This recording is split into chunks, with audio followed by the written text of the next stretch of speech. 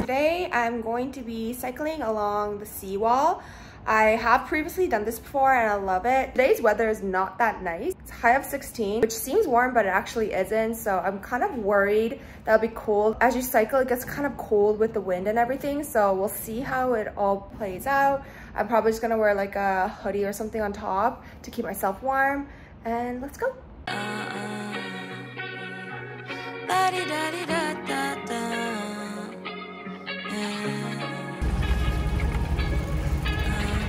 Can get my pants stuck here because I'm wearing something really loose. They said to tie it. So, how should I tie it like this? No, lower. Yeah. Maybe like that? Okay, and then I have the other one, but it barely fits my wrist, so. Oh my god, it's gonna snap. Ah, ah. Okay, these are gonna be my pants. She's testing out the bike. It didn't gear properly, so she's testing it out. I'm slightly scared of riding the bike again. She went back to return the bike and get me a new one. So I'm just waiting here. We're just at the very beginning of the trail. There's her bike. I guess I would recommend you to try the bike a little bit before you fully make your start because you never know if something's wrong with it. Here's the savior! Her first time biking? No, it's my second time. Or third.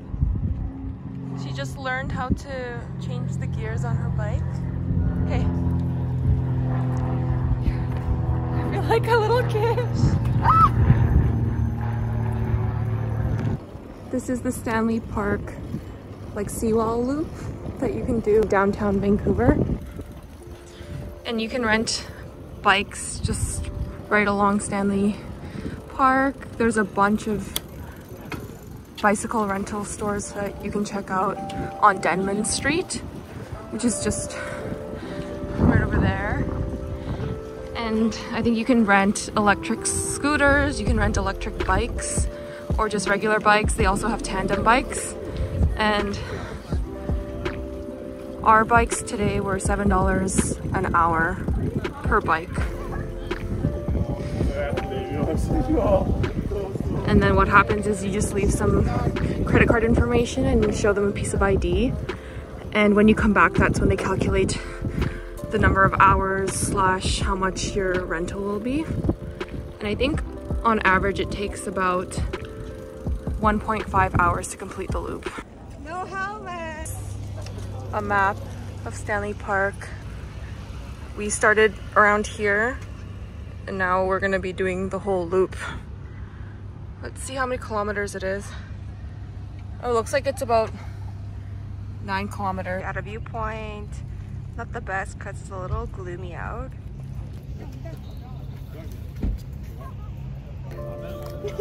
Try this. Doesn't fit.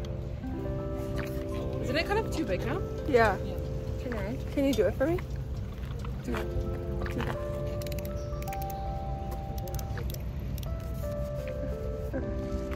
Can you like do this too?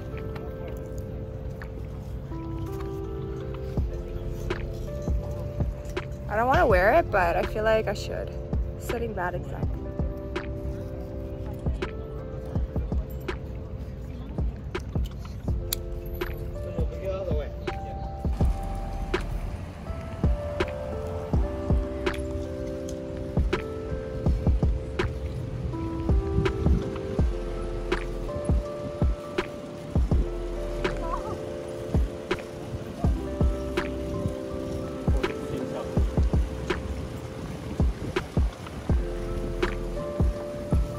There's this biking trail, which is separated from this walking trail, as you can see by the red line.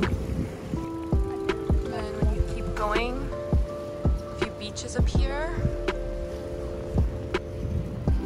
Now we're at the beach. Three kilometers left. What? Can't wait to eat. We're starving. We didn't think it was gonna tire us out, but actually pretty tiring. I'm not tired. Okay, well, I'm only tired. My arms are kind of sore. I'm sweating a bit. Okay, let's go. I try lifting my hat. Try. Try. Whoa. So we're now nearing the end of the loop. As you can see over there, you can't zoom in, there's the Burrard Bridge. And on the left of that is English Bay Beach. How would you rate this trail? Hi. She says nice. She says it's a nine. Out of what? Out of 10. She said if the weather is nicer, it would be 10 out of 10. She's picky. This is a little concession stand.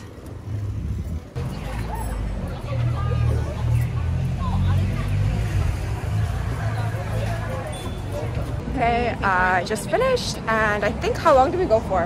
Or not? 67 minutes. We went for 67 minutes and that was around $22 and then I tipped them a bit.